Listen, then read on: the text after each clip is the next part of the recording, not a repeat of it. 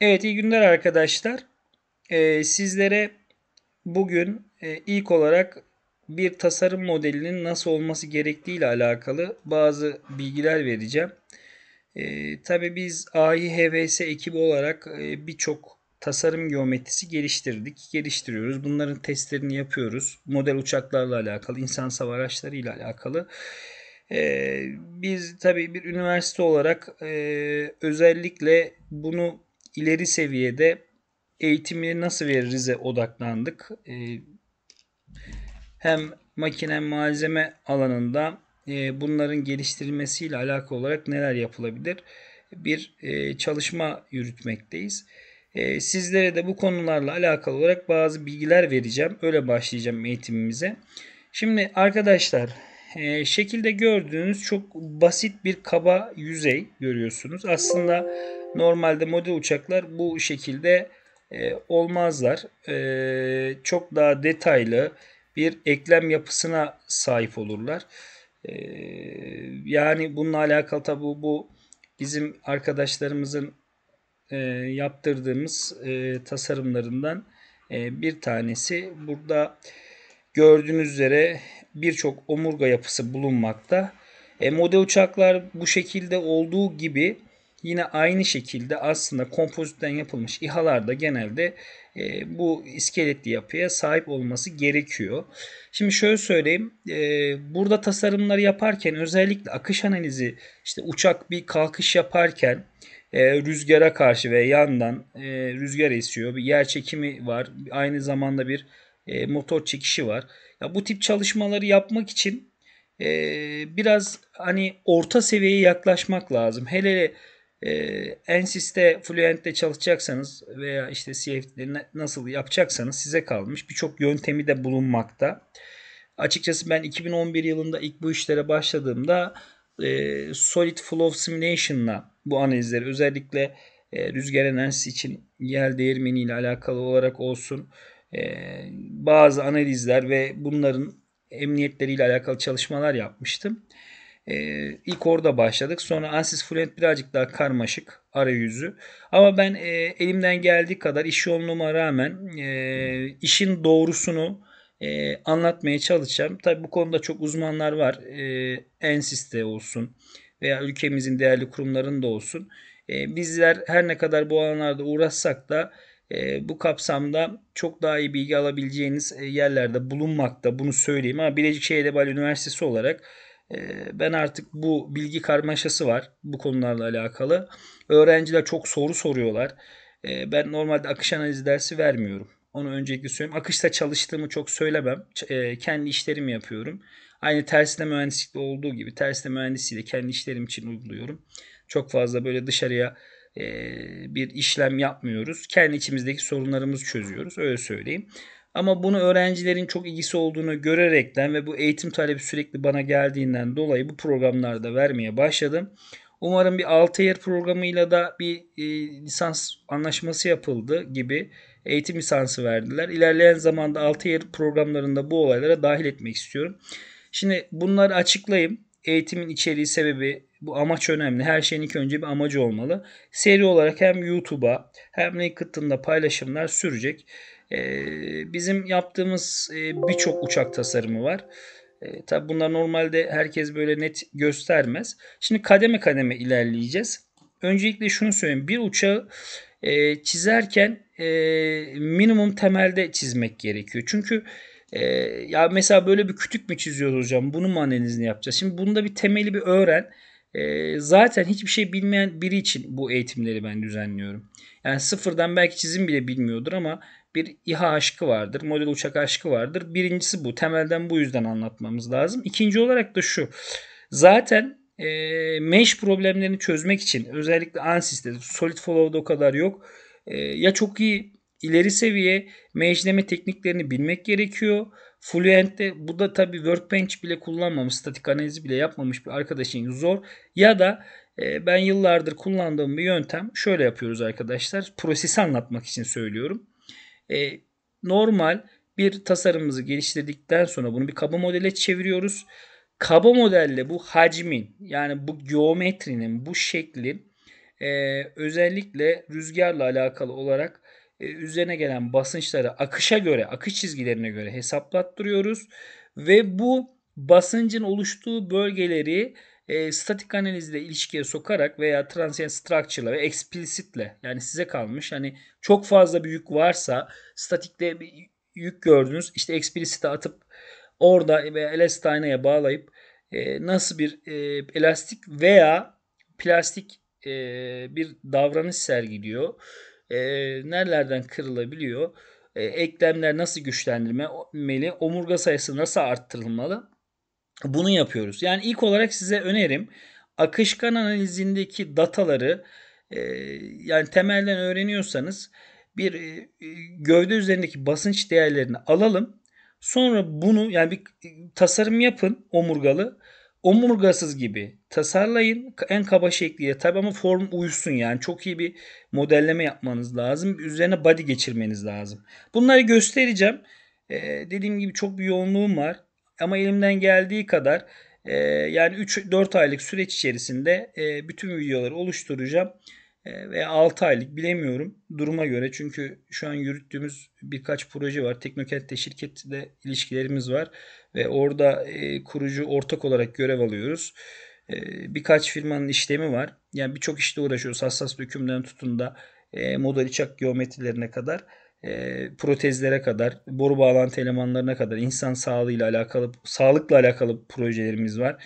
İnsan sağlığına katkı sağlayacak, e, olumsuz yönde etkileyecek. Ama ya boş kaldıkça bunları çekeceğim. Kısaca hem beni tanımayanlar için kendimi bir tanıtayım dedim arkadaşlar. E, şimdi en temelden bir uçak geometrisiyle başlayacağız. Şimdi göben unsurlardan göstereceğim sizlere.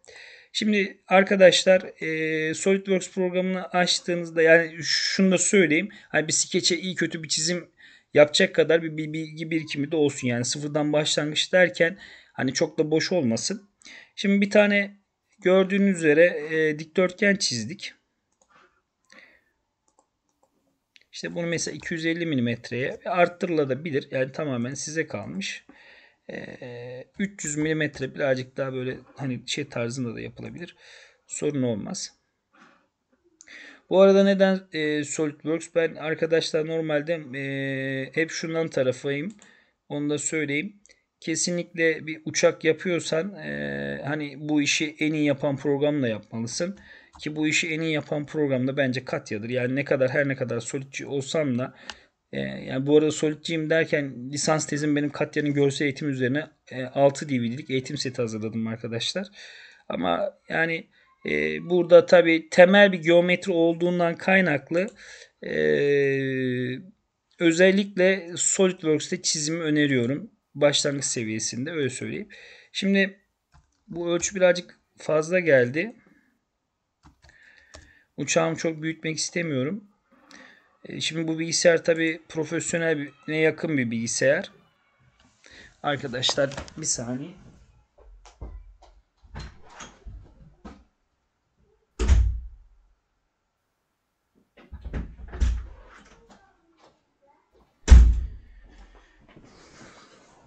Arkadaşlar. Kusura bakmayın. Şimdi 2000 mm bir uzunluğa sahip olacak şekilde yeniden bunu unsur ağacından düzenledim. Şimdi radyüsleri bakacağım üzerindeki geometrilere. Yani serbest yüzeye yakın yüzeyler elde etmek istiyorum. Tabi normalde bu yüzey modelleme ile yapılır. Yapacağız. Onlarla nasıl yapılıyor? Ama birazcık daha profesyonel e, modelleme bilmek gerekecek. Şu an orta seviye, başlangıç seviyesinde bir giriş seviyesinde diyelim. Tasarım bilen arkadaşlar için bu çalışmaları yürüteceğiz. E, benim öğrenciler normalde işte böyle çizimler yapıyorlar. Tabi mesela böyle bir uçak çizen arkadaş en fazla 20-25 alır yani sınavdan onu söyleyeyim. Ama e, analiz öğrenmek için de temel tasarımlar yapmak gerekiyor. Zaten anlatacağım. Göreceksiniz. E, Mage yapma konusunda çok büyük sorunlar yaşarsınız. Mage yapsanız dahi e, tabi birazcık biz belki eski versiyonunu almış üniversitemiz. E, Ensis eğitim lisansıyla anlatıyoruz. Yeni versiyonlarda mesh problemleri çözülmüş olabilir. Daha iyi e, işlem yapıyor olabilir arkadaşlar. bununla alakalı bir şey söyleyemem. E, şimdi buraları gördüğünüz üzere e, kuyrukla alakalı kısımları düzenliyorum. Evet, temel bir kanat tasarımı gerçekleştirmek istedim. Burada unsurda tabii bir yeri e, orta noktayla alakalı olarak bir sorun oluşturdu. Analiz için bir problem oluşturmayacaktır ama sarı noktaları uyarı veriyor demektir. Çıkartmakta fayda var. E, ya aslında birazcık e, bu şekilde burada müdahale edip bir draft e, hani e, verilebilir işte buraya göre bir draft ver ama bu bayağı bir e, uğraştırabilir ama çok uğraştırdı mı? Yok çok uğraştırmadı. Geometriyi daha düzgün bir hale getirebilir. Şöyle yapalım. Buraya draft vermeyelim. En ince noktası 20 milim olsun. Ve şöyle arkadaşlar 2 derecelik bir açı verelim. Arkadaşlar uçağımızı 2 derece birazcık fazla oldu. 1 derece yeterli. Çok da göze batmasın. Uçağımızı normalde motorlu koyacağız. Motor hareketi de tanımlayacağız. Onu söyleyeyim. Hatta buradan hızını bile e, hesaplattırabiliriz. Zaman zaman o işlemleri de birlikte yapacağız. Evet şimdi bu açıdan dolayı birazcık şeklim karıştı. Bu arada ANSYS eğitim lisansı üniversitemizin bulunmakta. Bu kapsamda eğitimlerimizi veriyoruz. Aynı zamanda özellikle e, tek yaz şirketine de e, gerçekten çok minnettarız. E, bizlere e, ücretsiz olarak bir solid lisansı hediye ettiler. Her ne kadar ben o lisansı 2020 versiyonunu kullanmasam da kendilerine teşekkür ediyorum. Arkadaşlar bu arada ben de çok kısa süre önce Solid'in 2015-16 üstü versiyonlarına katıldım. O yüzden bazı yerlerde komut arama gibi bir sorunla karşılaşıyorum. Evet burada şöyle bir durum oldu. Aynalamayı değiştirdiğim için e, yeri kaybetti. Gayet normal. Birazcık daha şekli e, böyle düz bir parça gibi gözükmesin. Çünkü öğrenci arkadaşlar e, şunu söyleyeyim e, gerçekten çok kolay motive oluyorlar. Tasarımlar güzel olursa. Ama arkadaşlar şu an önemli olan altyapıyı bir anlamak. E, zaten tasarım resimlerden resimleri de kullanıp göstereceğim. E, yani tersine mühendis tarama daha iyi gösterebiliriz. Yani işin yoğunluğuna göre belki e, biraz katıya girmemiz de gerekebilir. E, grup otomasyon sağ olsun o konuda da bize e, katya gösterebilirsiniz. Hatta Abaküs'ün bile eğitimini verebilirsiniz hocam sıkıntı olmaz dediler. Tabi Abaküs altyapımız bu kadar diğer programlar kadar iyi olmadığı için kendim birazcık daha Workbench'te kalıyorum ama şunu söyleyeyim gerçekten Dassault'un en iyi programlarından bir tanesi de Abacus. Yani çok başarılı bir program. Bu konuda da birazcık eksiklik bizden kaynaklı. Arkadaşlar bunları bu arada süsleyebilirler. Yani size kalmış. Ama çok fazla şey yapmayalım. Yani tasarımı zenginleştirmeye çalışmayalım. Bu bizi e, birazcık yoğuracaktır. Yani mej yapılamıyorsa çok büyük sorun verecektir. E, zaten göstereceğim. O detayları da e, yapmanız gereken kısımları da tek tek anlatacağım. Şimdi bunlar buraya da bir açı verilebilir miydi? Verilebilirdi ama bu palet kısmını genelde şöyle söyleyeyim. Yani biz de düz çiziyoruz arkadaşlar. Birazcık farklı bir yapısı oluyor. Buradan radius kısmını tekrardan düzenleyeyim.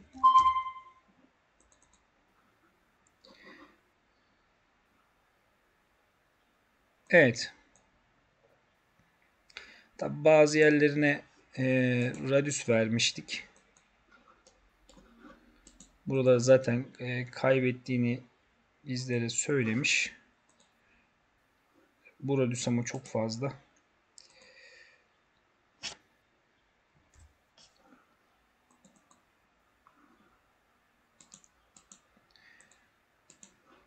Şimdi temelde ilk normalde çizilirken e, bunu da zaten e, göstereceğim sizlere arkadaşlar. E, şu alt kısmını da tamamlayayım. Bunu shell'e dönüştürüp bazı yerlerinden e, geometri çıkartılabilir ama ben gerçekten Mage bayağı bir yoracağı için bunu şu an sevleyeceğim. Hatta şöyle e, Fluent 01 diye kaydedelim. E, merak etmeyin birden çok geometri yapacağız. Ben vakit buldukça bunları çizeceğim. Belki dediğim gibi tersine mühendislikle olsun, resimlerden olsun. E, yani bütün e, CAD e, analiz FEM bilgilerimizi kullanarak bu dersleri oluşturacağız. Özellikle bununla alakalı sorular geliyor. E, bu işlemleri tabii ki yapacağız. Şurayı birazcık daha düzenleyelim. Yani bir bazen gözüme batıyor arkadaşlar. Her ne kadar temel bir tasarım yapsak da değil mi? Birazcık e, hoş bir e, tasarım olması da önemli. Bu konuda çok da büyük bir e, ilginin olduğunu gördüm. Birçok üniversite roket projelerinden tutun da İHA projelerine ağırlık veriyor. Umarım e, bizim de bu yaptığımız çalışmalar katkı sağlar. Ben de öğrenci arkadaşlarım uzun zamandır araştırın, eğitimlere bakın, yabancıların özellikle çektiği eğitimlere bakın e, diyerekten böyle yönlendiriyorum. Fakat bir türlü arkadaşlar e, çok basit yerlerde takılmışlar. E, çözemiyorlar. Yani hani e, yabancıların çektiği eğitimlerde de detaylı e, işte 10 kere analizi çalıştırıyor. Ondan sonra olan e, olmayan analizi ne yapacak, nasıl çözecek? Bununla alakalı çok detay bilgi yok. E, bu kapsamda da umarım sizlere Bilecik Üniversitesi'nin arkadaşlar e, bu verilen eğitimleri e, destek sağlar diye düşünüyorum. Evet şimdi tasarım birazcık daha gördüğünüz üzere daha radüslü bir hale getirdim. Bu arada öyle arkadaşlar var ki mesela bu tasarımı mesela bu tasarımı alıyorlar. Yani benim e, üniversitede benim öğrencilerim de ne var yani hani bunu yapan e, gerçekten arkadaşlar bu tasarım öyle bir yapıyor öyle bir render veriyorlar ki sanki böyle akıncı yani. Yani onu o yeteneğe ekstra ben de derslerimde puan veriyorum. Ya yani şu tasarımı tanıyamazsınız arkadaşlar. Onu söyleyeyim. Yani o kadar derecede başarılı olan arkadaşlarımız da bulunmakta. E, tabii ben e, endüstriyel tasarım yönüne çok önem veriyorum. Bir ürünü çünkü kendimde bir endüstriyel tasarımcı e, sayılırım. Evet. Şuradaki dengeyi birazcık daha böyle çok tatlı bir hale getirmek istiyorum arkadaşlar. Gözümü tırmaladı. Şimdi çok tabi detaylarına girmek istemiyorum. Bu arada radius karıştırdı. Tamam bir buçukta bırakayım. Bir buçuk sanki yeterli olacaktır. Tamam burada bırakacağım. Şimdi arkadaşlar şöyle bir durum var. Ee, diğer kısımda. Normalde ya bu uçakların e, tasarımında dış yüzey modelleme yapılır ve bunun bir hesabı var. E, bu hesaplara da değinebiliriz. Hesaplamaya göre bu omurgalar oluşturuluyor ve o bu omurgalar e, belirlenen bu hesaplamalara göre e, arkadaşlar katman katman çıkartılıyor. Bu işlem gerçekleştiriyor. Aslında dış yüzey modellemesi yapılıyor. Aslında bakıldığına tamam Hani bu uçak bu şekilde gözüküyor. Elimizde başka uçaklar da e, bulunmakta. Tabi bu eğitim bilgisayarım olduğu için e, şahsi şirket bilgisayarında arkadaşlar o e, tasarımlar bulunmakta. Yeri geldikçe onları da ben zaten sizlere göstereceğim, açacağım. Yani bu dış kısım aslında dış geometri oluşturulur arkadaşlar. Sonra e, diğer uygulamalarda da göreceksiniz. Bunları omurlara ayıracağız. En azından şöyle e, hep bütün öğrencilere şunu söylerim. Bir şeyin tek bir yöntemi yoktur. Yani tek doğru işte Burak Hoca bir eğitim açmış e, ve e, bu eğitimde e, %100 e, uçak yapmayı öğretiyor. Ya yani hani öyle bir şey olamaz. E, o zaman yani hani e, bu kadar uğraş neden? E, öyle bir şey yok. E, biz de kendimizi geliştiriyoruz. Aynı zamanda şunu da söyleyeyim. Bir şeyin bir yöntemi yoktur. Her zaman SolidWorks'te de anlatıyorum. E, yani bir şeyin kesinlikle bir tane yöntemi yoktur. İbrahim Kadı hocamız bizim ilk AutoCAD gibi programların çizimlerini öğrendiğimiz hep şunu söylerdi. Ben e, 1976'larda 80'lerde neyse AutoCAD'i yurt dışından öğrenip geldim. İlk öğrenenlerdenim Türkiye'de. İşte ben %50'sini öğrettim. İşte e, siz benim bildiğimin e, %50'sini öğrenirsiniz. E, işte böylelikle de işte şu şu şirketlerin genel müdürleri, ARGE müdürleri işte böyle böyle benim altyapımdan çıktı. Ya bu iş birazcık böyle arkadaşlar üzerine koyarak ilerliyor. Evet buraya da bir radius ekledim.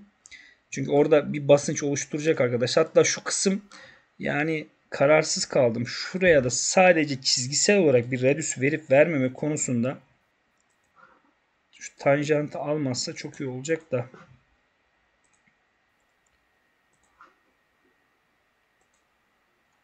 Asimetrik de yapabilirim aslında da.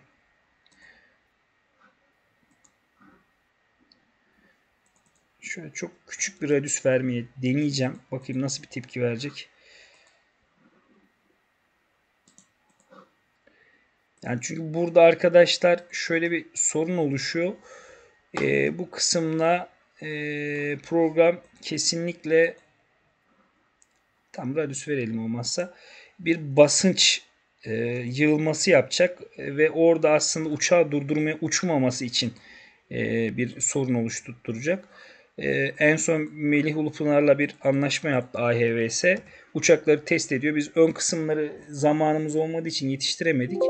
E, bu kapsamda da arkadaşlar ön motora bir koruma kısmı yapamadığımızdan uçakta bazı sorunlar gözlemledik. Neyse birazcık daha bunu radius hale getirdik. Evet arkadaşlar tasarımı gördünüz. Herkes SolidWorks'te e, bu çizimi yapar diye düşünüyorum. Şimdi e, bakacağım. Evet. E, eğitimimize kaldığımız yerden devam edeceğiz arkadaşlar. Şöyle en basit temel tasarımı göstereyim.